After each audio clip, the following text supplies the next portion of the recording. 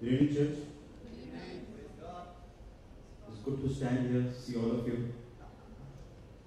You know, half my message today has been taken care of in the worship, singing, and uh, I praise God for that. It will be much easier for me to communicate and make people understand because half of that has been taken care of. You know, we had a beautiful worship. Uh, the worship very clearly told us that, you know, our God reigns. We all know about it and we know that we will continue to do so till the time it comes and we will continue reigning after that.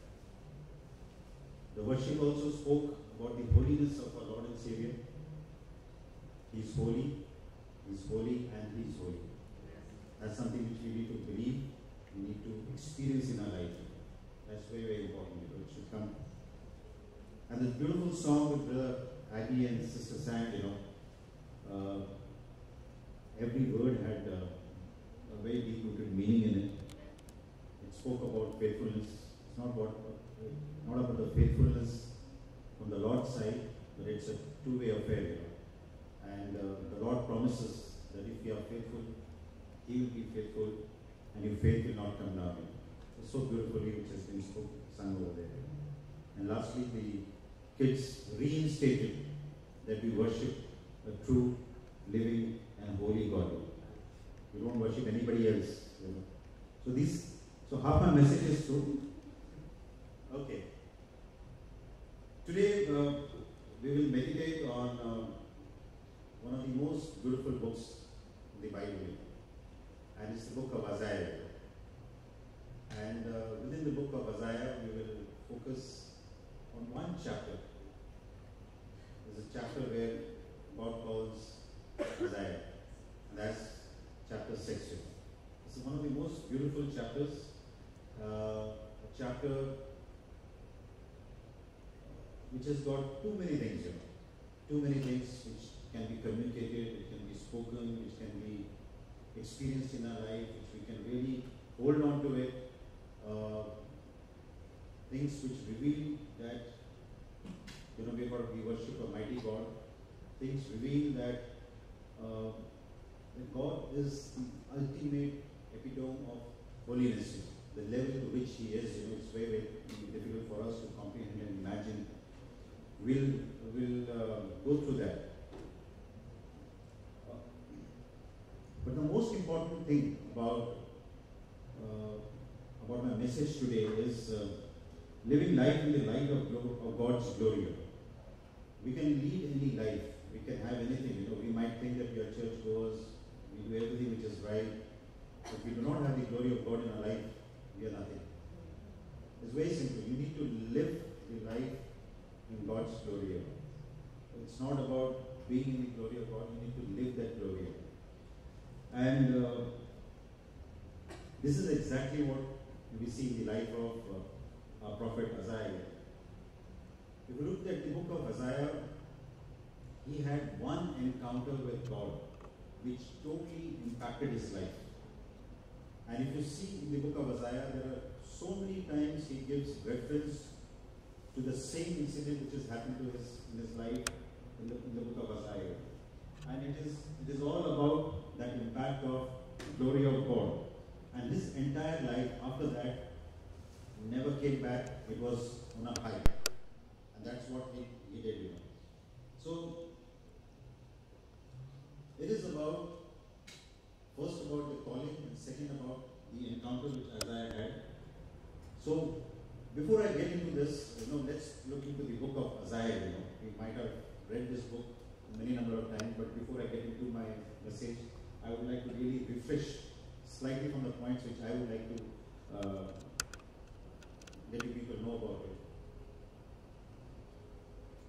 You know, how do you put across the Isaiah story? You know, we all know that how many uh, uh, chapter, how many books uh, in the Bible. Here?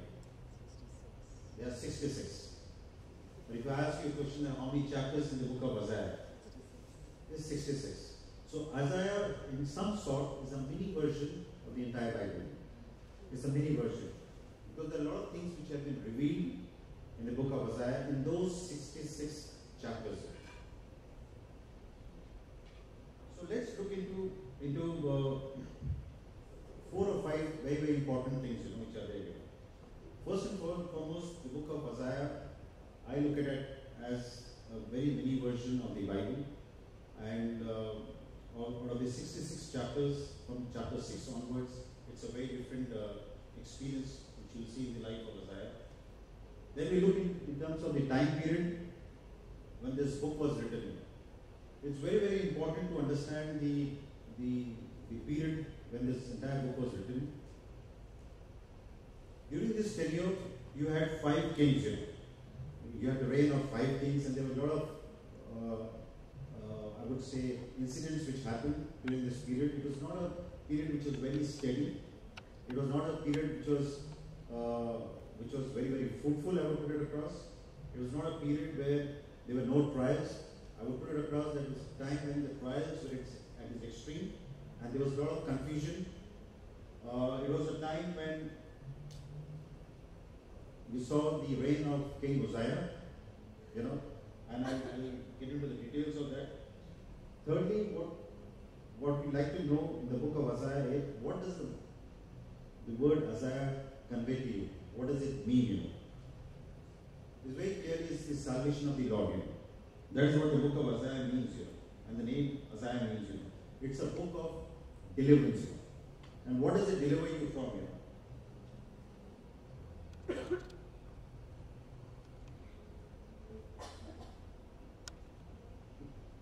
There are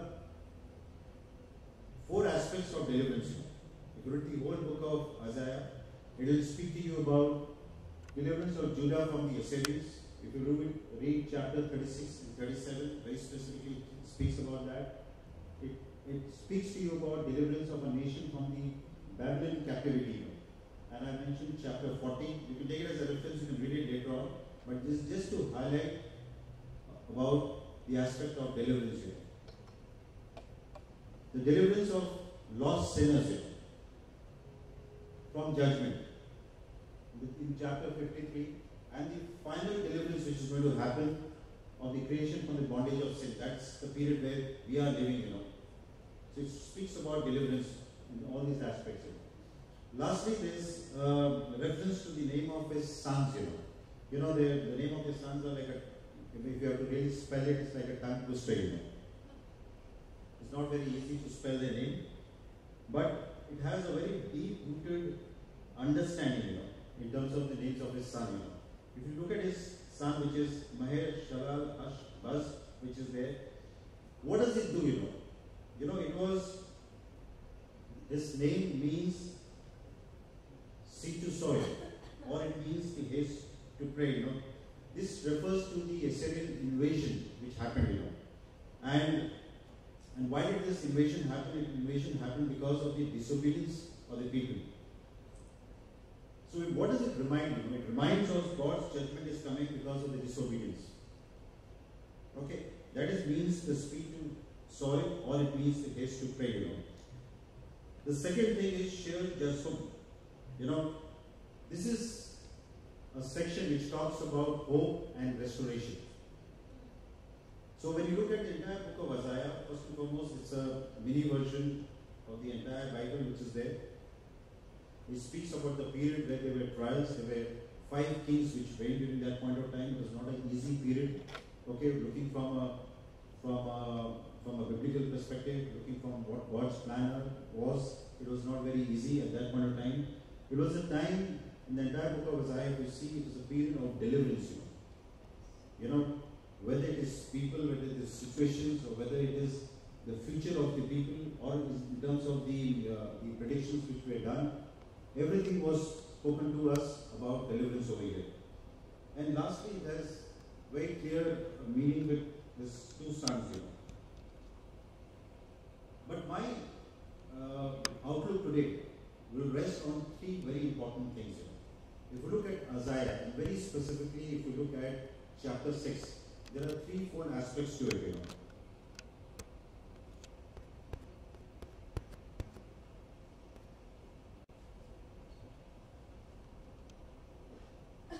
The first is the upward look. And I'll explain to you in detail. Uh, in terms of what this upward look is. The second is the inward look, and then it's the outward look.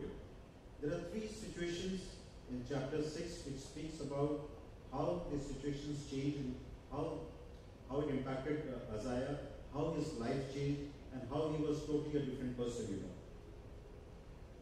You know, when the outward look, the upward look is when Isaiah saw the Lord in the beauty of his holiness.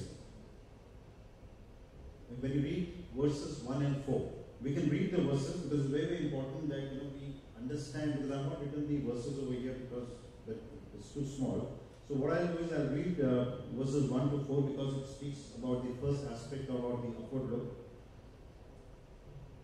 And if you have your Bibles, you can also go through it. Isaiah chapter 6 from verse 1 onwards. In the year that King Died, I saw the Lord sitting on a throne, high and lifted up, and the train of his robe filled the temple. Above it stood seraphim. Each one had six wings. With two he covered his face, and two he covered his feet, and with two he flew. And one cried to another, said, and said, Holy, holy, holy is the Lord of hosts.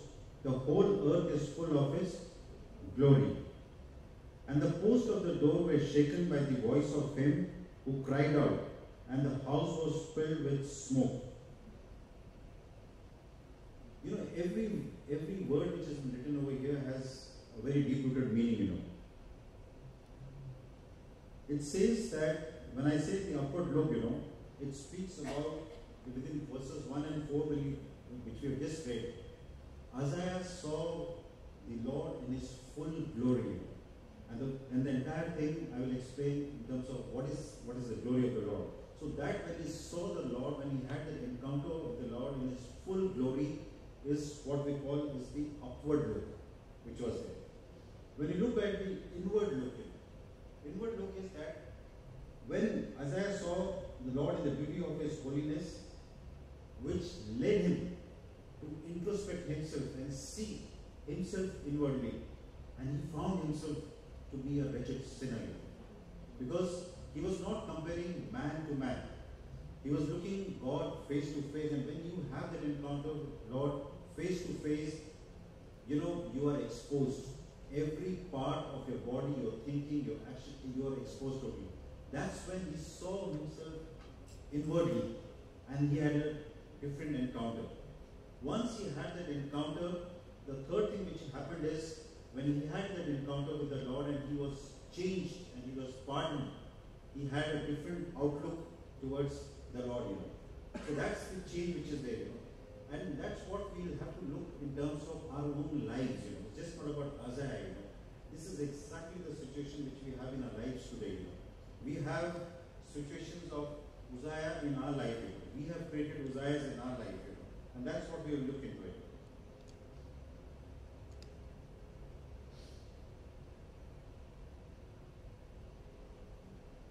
let's look at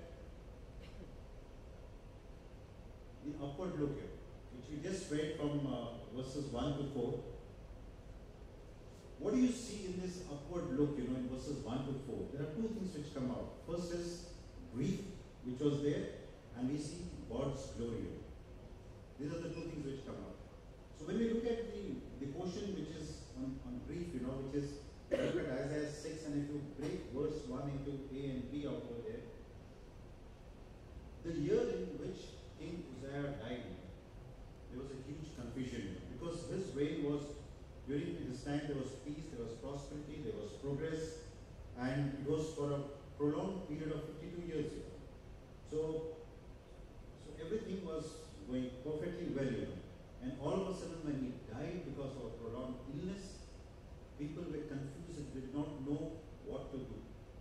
You know, that, that is what was the grief, you know, which was there.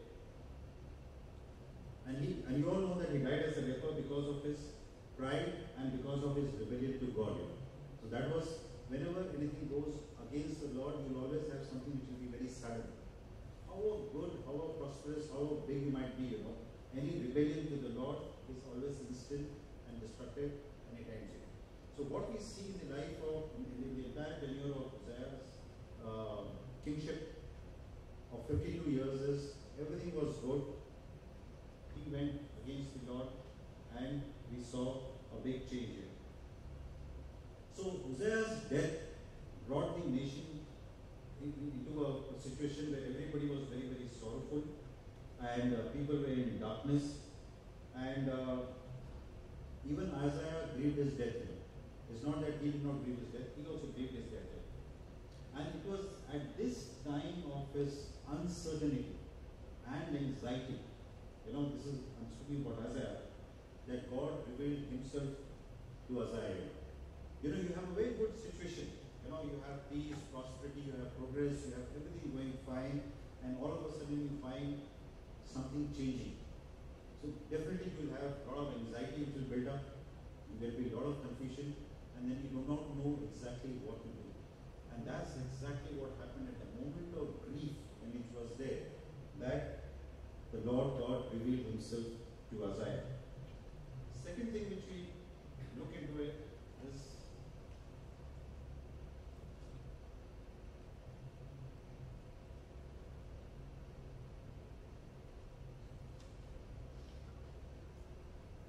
is God's glory.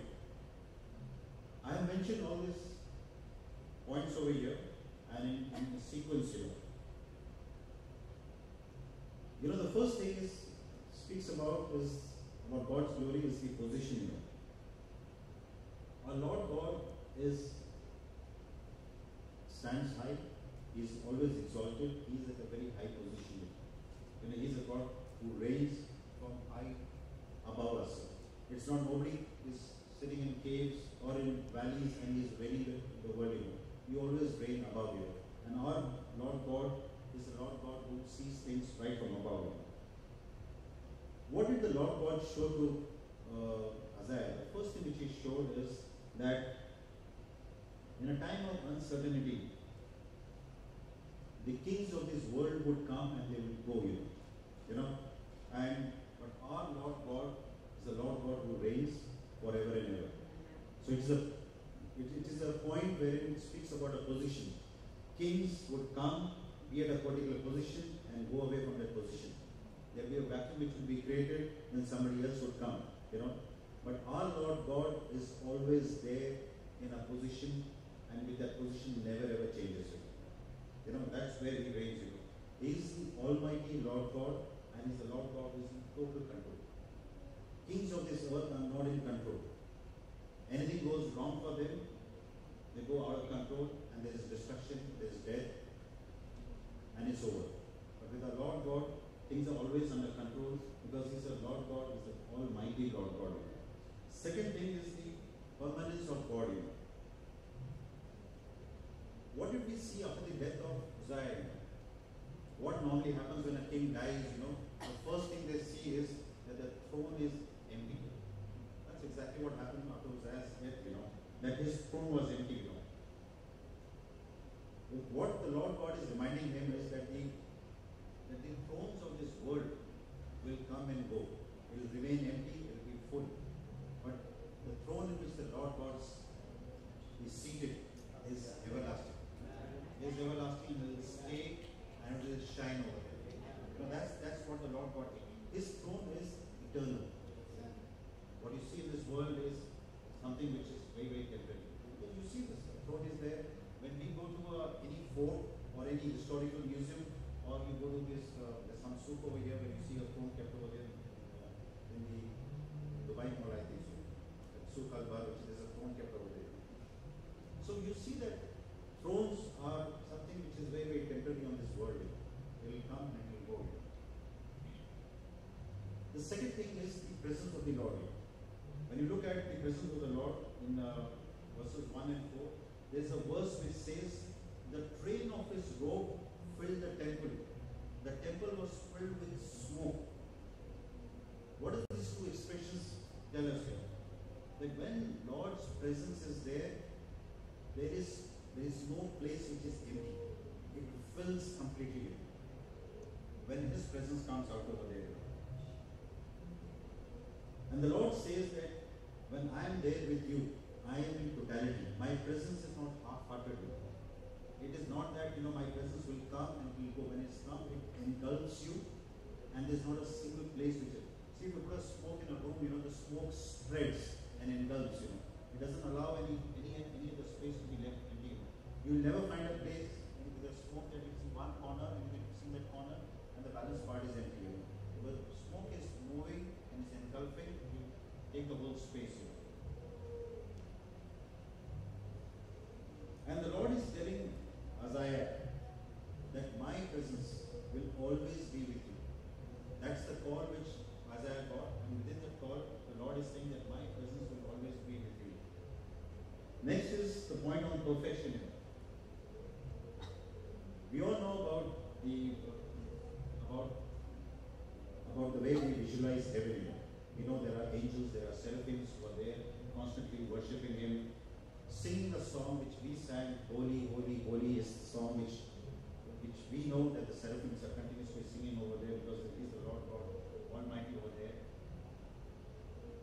Remember one thing, you know, the seraphims are beings that are pure, and yet, you know, they covered their faces in front of the Lord. The seraphims do not see the Lord face to face. Although they, their earnest desire would be to have that encounter with the Lord face to face. You know, they covered their face uh, with their feet in the presence of the Lord. But here,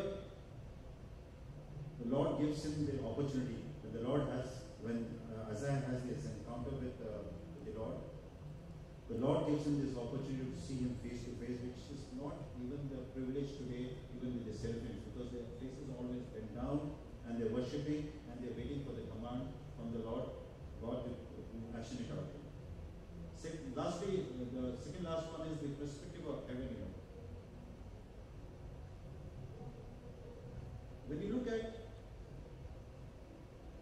when you look at this earth, you know, this earth is something which is very, very temporary. You know. It is something which is going to be destroyed. You know.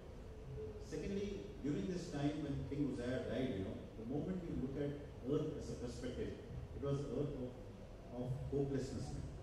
And it was a place of confusion. Because people were confused and people felt that we have lost a big hope in our life. We do not know what to do after this. But what we see with the Lord, you know, we never lose the hope because His glory fills this earth. Earth is His creation, and His glory fills this entire earth. And that is exactly what the Lord is trying to tell uh, Isaiah there here that look at although you are in this earth, your perspective should be the heaven. You should know what is the what is coming from heaven. It's the Lord's glory which is going coming and filling. You should not look at things happening in this earth from the perspective of the earth here. We should look at the perspective of heaven on this earth. That's what the Lord is telling him. And lastly, what has been communicated to him is the power of power of God, you know. When you look at it, at the sound of their voices, the doorstep and the threshold shook. You know, this is the powerful presence of the, of the Lord, you know. When you read verse 4, you know, and the post of the door was shaken by the voice of him who cried out, and the house was filled with smoke, you know. You know, the Lord's presence has power, you know. It is not the Lord's, Lord's presence as uh, something which will, you know, create something. It is, it is powerful, you know. Is something which can impact, it can change, it can transform, you know, it can make, take you up to a new higher. That's what the, uh, the power of the Lord God is. And and that is what exactly the Lord God wanted to show this to Isaiah.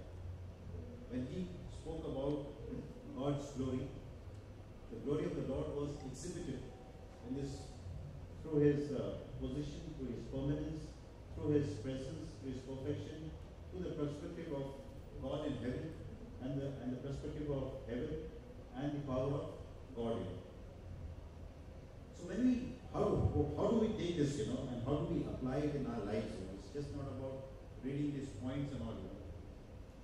Today, when we stay here in this land, when we look at the world today, it is one of the most uncertain times which we are living in. This is exactly what was the time when Isaiah got his calling. It's the same time which we can see that today there is certainty, uncertainty in every step of our life. Whether it is the way the world is changing, the world order is changing, the way the world economy is changing, the way the people's thinking is changing. You know. the way the people are uh, worshipping the Lord, you know, the way the people are moving around, the way the finances of people are changing. This the only thing which is constant is the word changing. Everything is changing, and it brings a lot of uncertainty. So what should we do? Know? In, the, in that time of uncertainty, there was only one thing which made, made all the difference. It was the vision of our Lord and Savior to Isaiah. So when we are in this situation today, or whichever situation we are today, or we live in today, what do we what do we need to do? We need to keep our eyes focused on the face of Jesus. We need to be focused in terms of the vision, in terms of an encounter with Jesus. Exactly what we need to do, you know. Because the Lord's glory will never fade, it will fall upon you.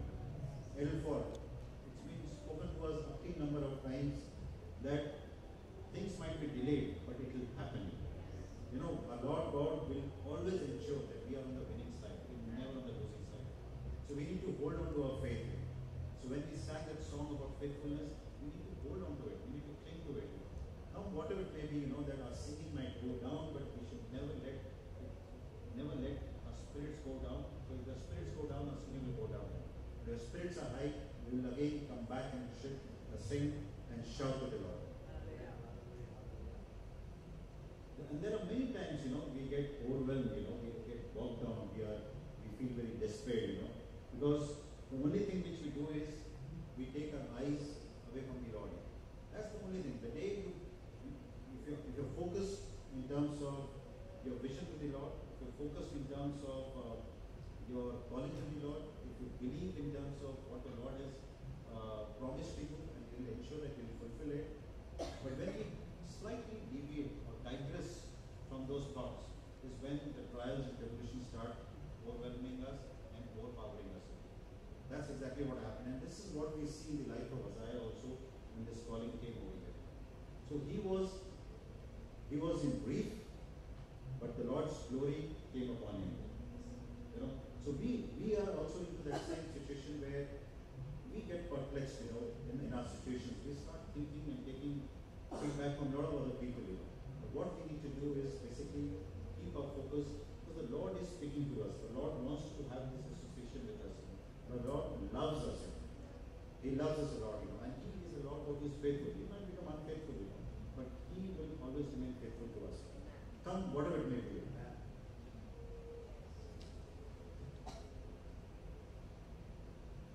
You know, there's a they say that you know when you when you look at your vision, you know, if there's nothing in front of you, your vision is wide and you can see right up to the other distance. You know. But when you, the moment you bring a coin right in front of your eyes, that one small coin can impair your vision and block everything. Never allow anything to come between you and the Lord in terms of what is your vision towards the Lord is. Anything which comes is a clear indicator that you're moving out. Either you will move away from the coin and see somewhere else, or you will move the coin away. The most and the simplest thing is to move the coin away from your life.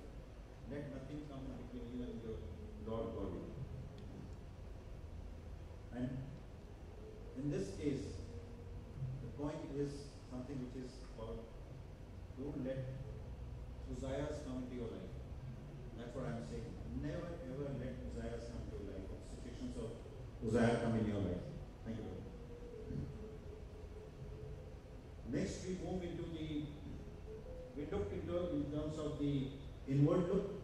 Now we look in terms of the out, upward look. So let's read uh,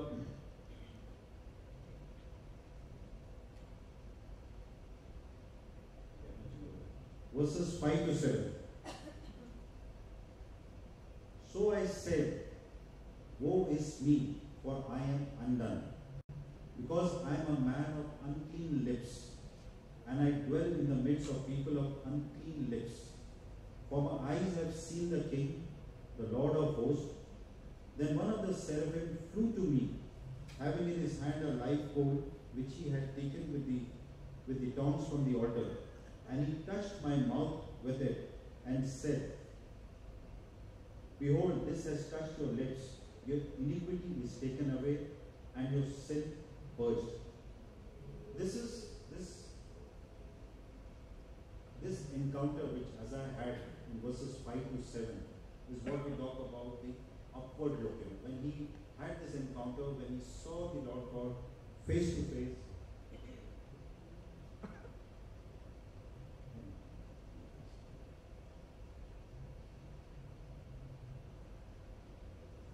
Okay. Sorry, I'm speaking of inward.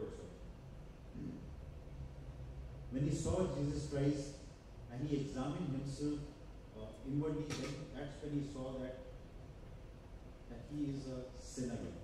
Now here what I want to mention over here is that his encounter here is not man to man.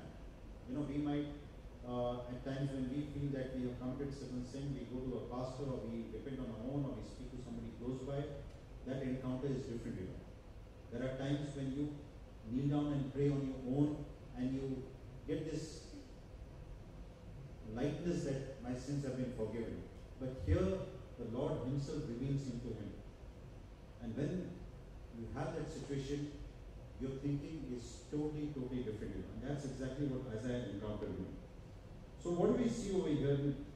You know, when we, I can give you a very simple example about how we can come to know about you. Uh, and I'll give you a very simple illustration. You know, there was a young uh, boy uh, who had a very beautiful uh, working career, but he always aspired to move from India to, to the US. You know. And finally, one day, he really got an offer, offer to move to the US and was very, very excited about it. And uh, there are certain mandates to go to the US, and he's got his uh, uh, all his requisite papers done, and there was some medical test which he was supposed to do, which was all a formality. So he was very excited. He went and did his shopping and everything, and on the way back, he went to the doctor to collect his medical report. And uh, when he went to collect his medical report, the doctor called him and he said that you know uh, uh, we had taken uh, X-rays and the X-ray report shows that you've got lung cancer. Now, just imagine, you know, that Isaiah is in front of a Lord and Savior. That encounter is happening, you know, and there is an X-ray which which is in front of him, and through that X-ray, God's X-ray, Isaiah is able to see all these sins that are inside him, and he feels that he is a sinner. Let me correct over here. I said correct over here that Isaiah was not a sinful man, you know. You know, he was far, far better than a lot of people mentioned in the Bible. You know. But when he had this encounter, and this encounter is with the Holy of Holy, and when he sees that encounter in that holiness, he finds himself, and he uses that word woe to himself, you know, that I am a wretched sinner. So when we talk about holiness and, and that encounter which is there, it really exposes us from the inside to the outside. And it's like a complete x-ray of ours. And there are a lot of times, you know, we superficially think that, you know, we are absolutely perfect, fine, but when we actually go to a hospital and we get an x-ray done, which is really, really something which we really do not know what will come out of it, we start coming into doubts. That same x-ray was there with, with. And it, the same x-ray comes to us in our life also.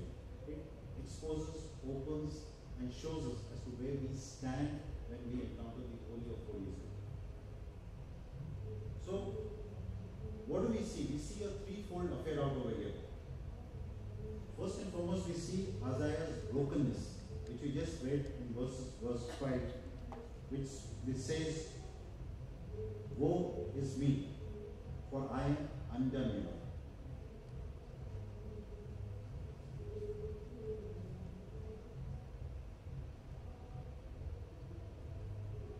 As I explained to you, that this brokenness was that he, he felt that he was totally exposed, and he said that, Lord, I am unworthy, woe to me.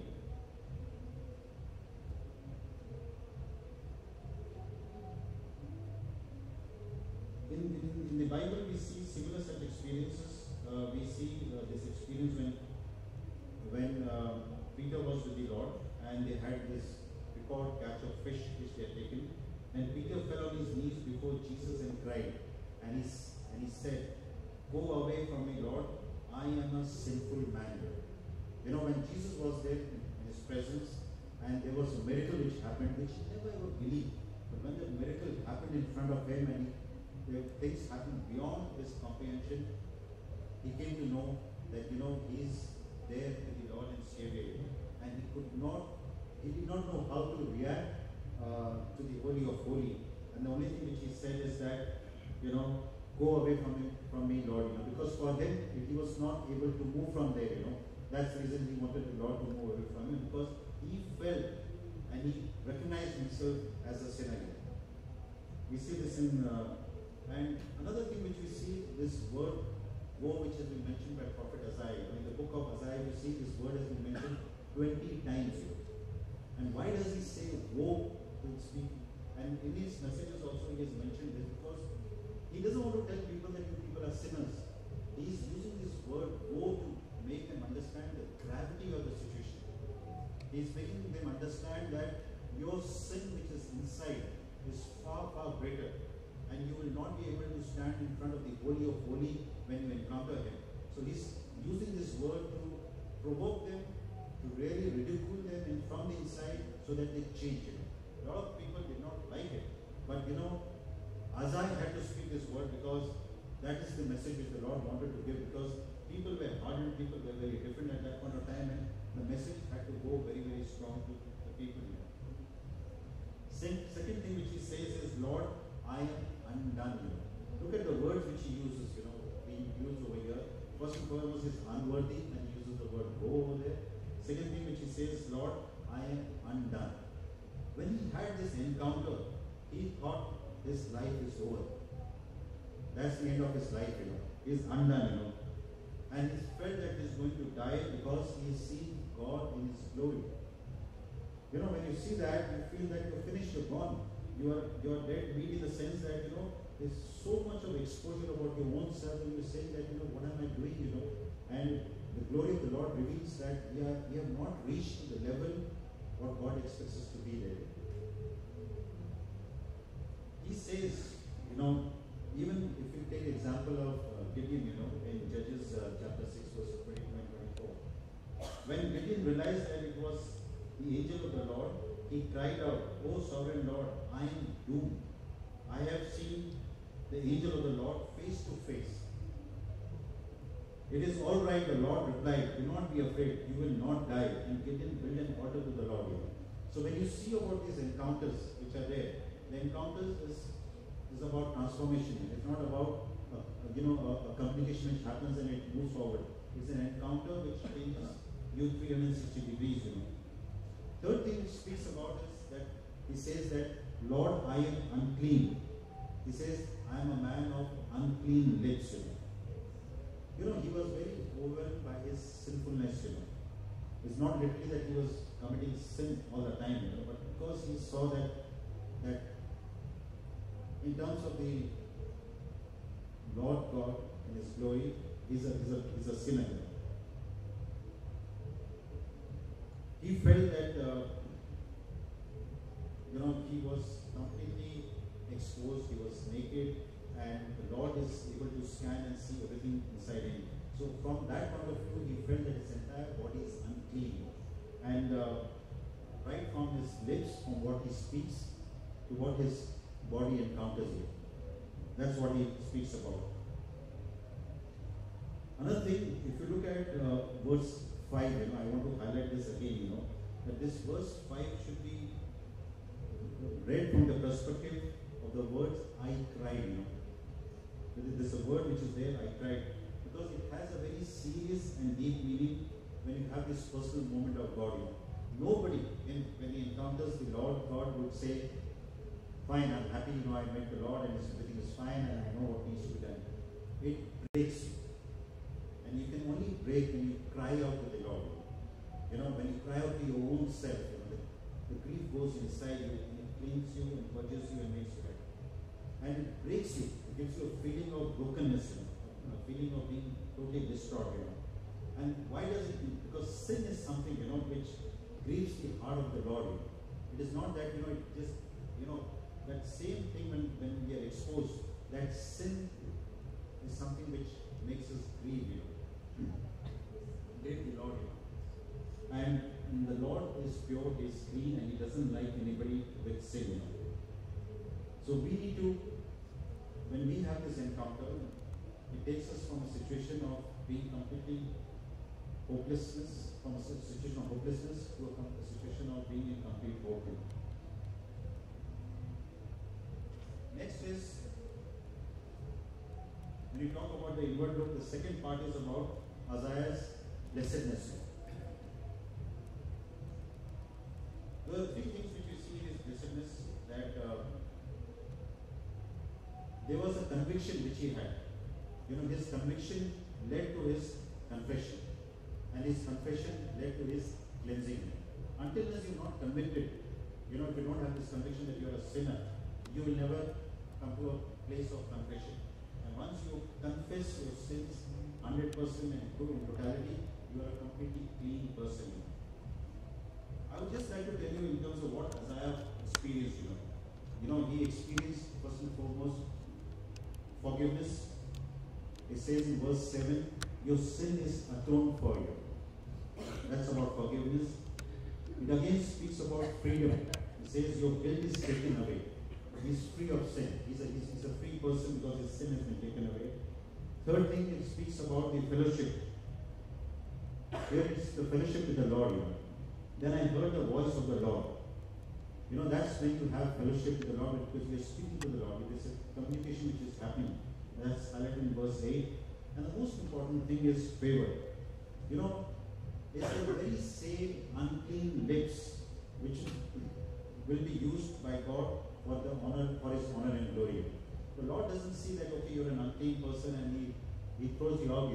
He uses this the most sinful person for the glorification of his kingdom. kingdom.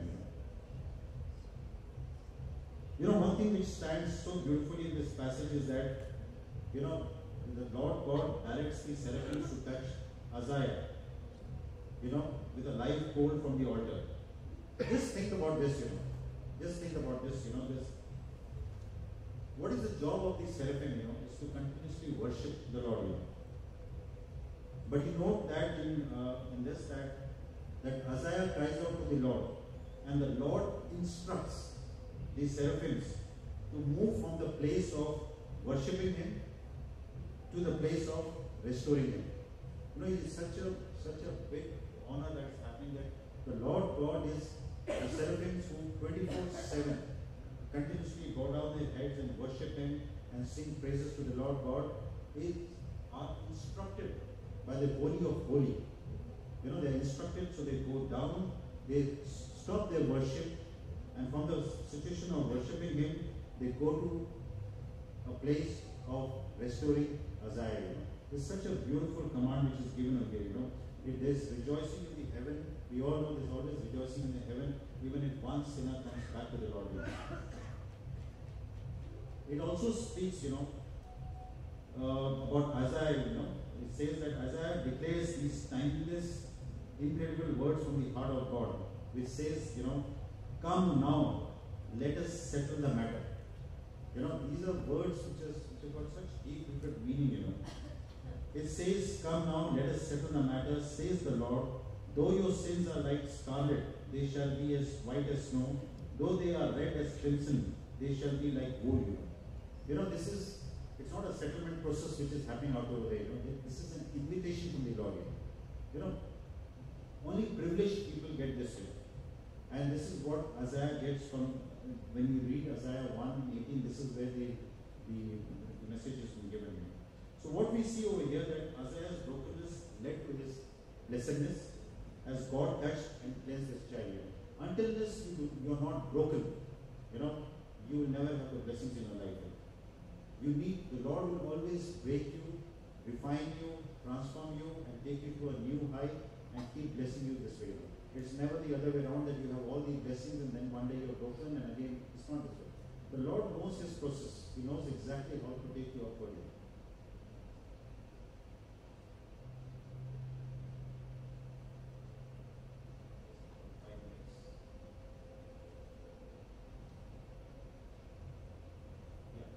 Finally, we will move into the outward look. You know.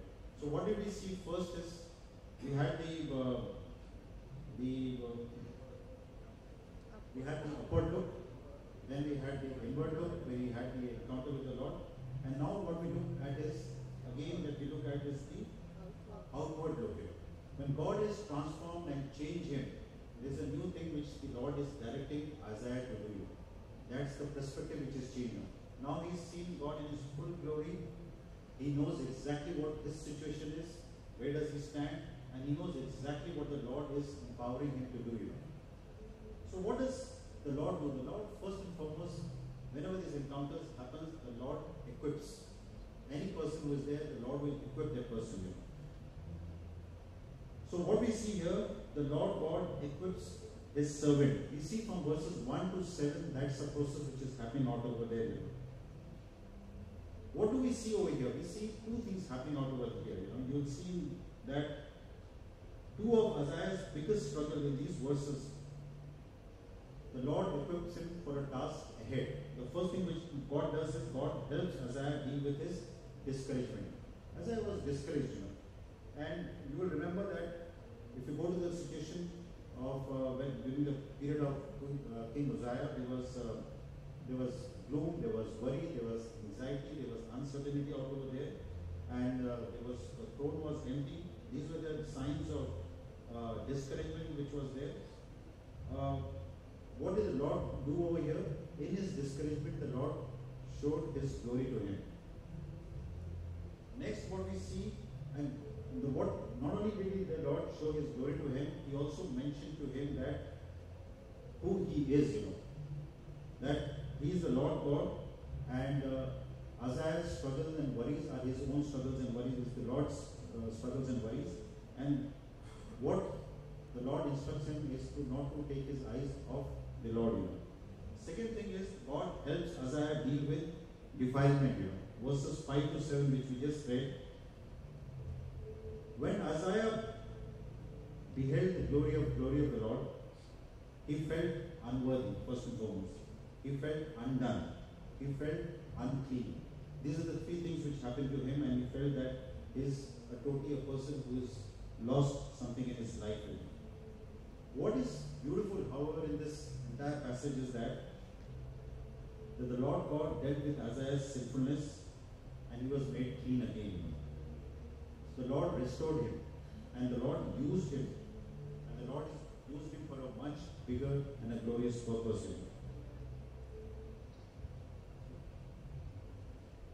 Then we see another point. The Lord God entreats his servant. In verses 8 to 13, if you see that, as we read this section, you know, we, we see three very important things which are there. We all serve a master here, a master is Lord God. And no person can serve two masters. You can only serve one master. You know, we are people.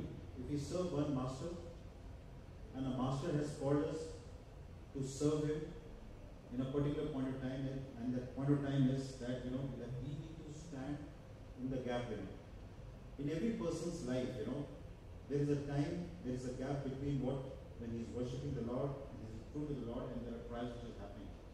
Between these two times, there is a gap which has been created, and as believers and as uh, uh, people true to the living uh, Savior, we need to stand in the gap here. And I'll explain you what the word gap is, and I'll split it across uh, three things. The first thing it speaks, the word G speaks about grace. You know. What we see is that if you look at the first seven verses, it speaks about God in His glory, and it speaks about God's power. God's desire for us is about partnership. God is telling us that I am here, I would like to partner with you. When we read verses 8, you know, it speaks exactly, it says that, then I heard the voice of the Lord saying, Whom shall I send? And who will go for us? In this verse, we suddenly face with God's desire. Know. God's desire is desire of partnership. You know, He's, he's looking at us and He wants to partner us in the in, in the next step which the Lord wants us to take, you know. You know, this this line, you know, this uh, aspect of a command which is supposed to come, you know, these seraphims are waiting to hear this command, you know. But whom has the Lord chosen? Me and you. You know, even the seraphims who who want this binding to happen to them, you know. the Lord God has given it to you and me. You know. The Lord wants to partner with us. He's calling us. He's telling us that, you know, you tell me, you know, I would like you to be partners with me. You know. And is that not a humbling factor from the Lord's side? You know, the Lord is humbling himself. And we are people who are fallen men and women, you know. But the Lord still looks at us, He lifts us up, brings to a level, gives us, has, makes us have an encounter, and tells us, right now you're ready and I would like to partner with you in this process. Even the celebrants are not given this.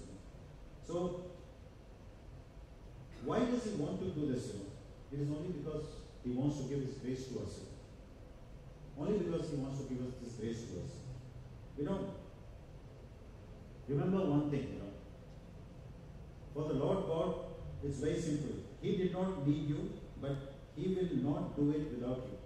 There's one thing which is very, very clear and very simple, and I've written down over here. You know, the Lord does not need us.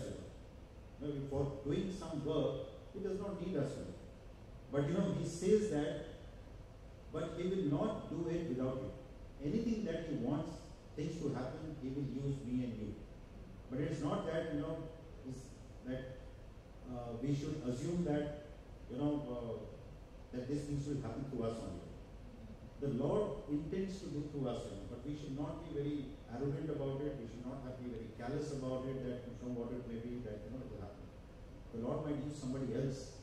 The day He uses somebody else, you have lost this opportunity of partnership, and that this uh, opportunity of partnership doesn't come time and again. When it comes, we need to grab it. You know, because it comes from the Holy of Holy. It doesn't come from anybody else here. Okay. Second thing it speaks about is agony. In the word gap, the A is about agony.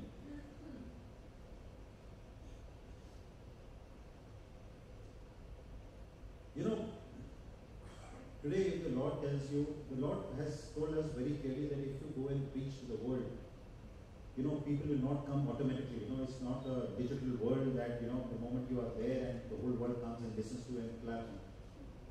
People will not listen to you. They'll be, you know, people will be hard-minded, you know, hard-hearted, you know, they'll be headstrong and they will not listen to you. There'll be trials, there'll be operations, you know.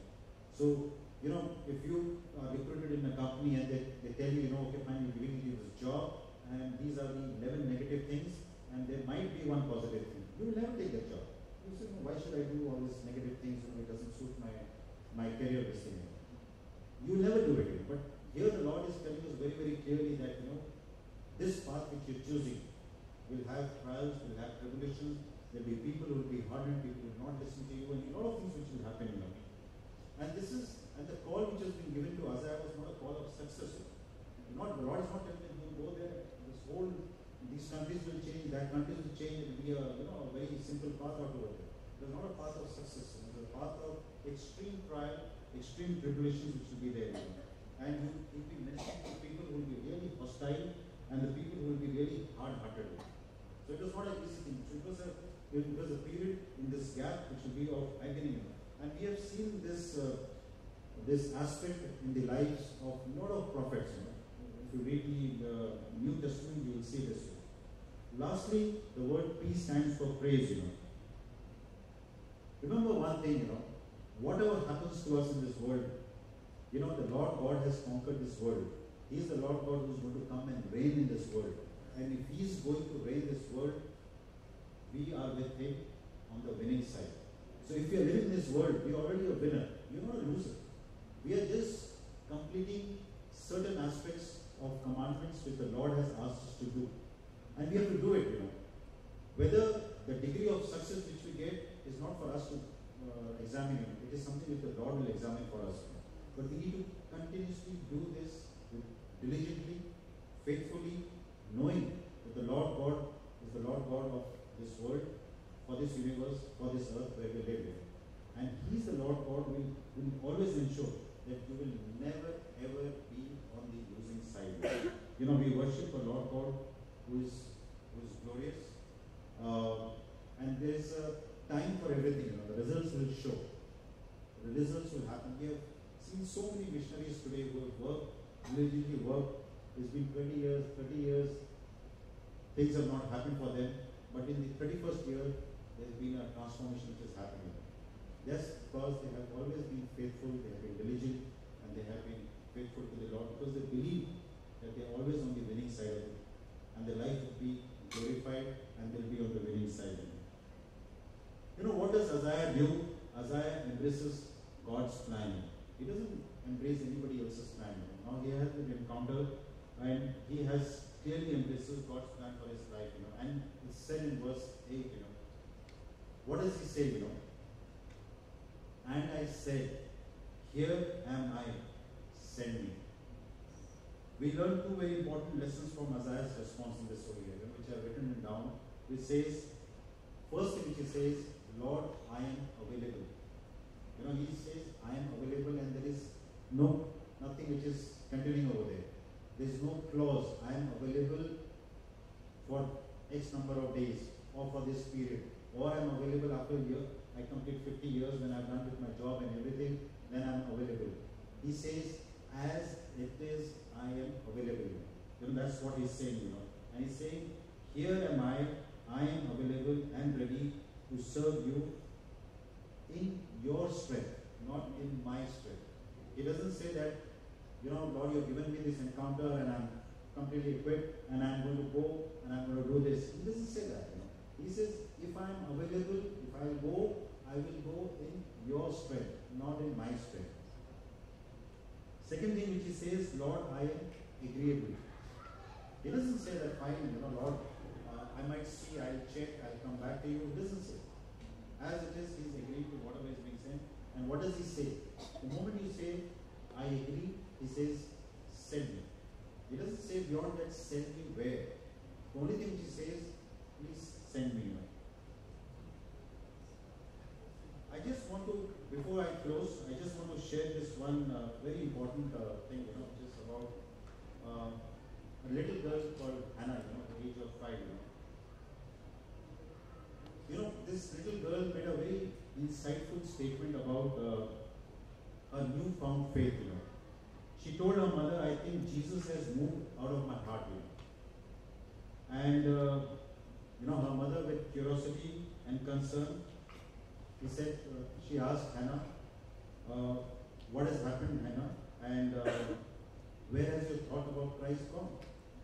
You know, the little girl replied, you know, the Lord God has moved from my heart to my throat. Because all I want to do is tell people about Jesus. It's such a beautiful thing, you know, that you know we keep Jesus in our heart and we keep it there, you know. It doesn't it doesn't come out our mouth, you know. But this little girl said that, you know, he's moved from my heart to my throat and I only talk about Jesus. These are simple illustrations, but these are true illustrations. And uh, today, let's not take things to our heart. Let's not be very passive and uh, callous uh, Christians and believers, you know. Let's move things much beyond that. And to sum it up, you know, I would just conclude. And I would say that, you know, in our conclusion, I pray that we will, along with the prophet Isaiah, respond and say, you know, here am I, send me. Amen. It's very, very important, you know, that uh, today, uh, do we have that belief in ourselves? Do we have that uh, strong desire in ourselves to utter these words, you know? You know, all of us can examine ourselves. You, know, you can go and go back and read the book of Isaiah, chapter 6 again, you know. Can we boldly proclaim today to the Lord in our prayers and say that, you know, Lord, here am I. You know, openly saying, you know, whatever our situation, whatever the trials, whatever is happening outside, you know, are we committing to the Lord by saying, Lord, here am I? Are we saying to the Lord, please send me? It's not we are saying, the Lord, I am moving to this part of the country, uh, you know, use me over there. Are we saying very simple thinking, not knowing what Lord's plan is, telling the Lord, please send me, and saying amen to what you're committing to the Lord. These are the things which I would like to put it across to you. Uh, actually, it is a much larger text which I try to come, you know, squeeze it between. Are three parts which I wanted to uh, explain to you, but uh, nevertheless, the gist of the message was there. Uh, I would like you to think about it. I would like you to go and meditate again on uh, Isaiah chapter 6 again and look at some of these points which are there that are we committing ourselves to the Lord totally in simplicity and in truth. Thank you.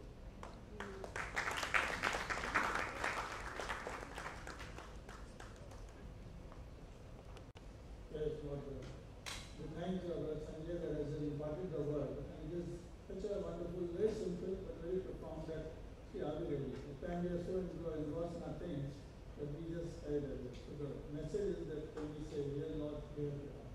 You know, so we just come at this, uh, just pray and we come at this time unto the Lord. Dear Holy Loving Father, we thank you for this time of fellowship, Lord, as we have come and as we know that you have spoken to us. We pray that the hearts Lord will not be caroused, but Lord will be sensitive to your word.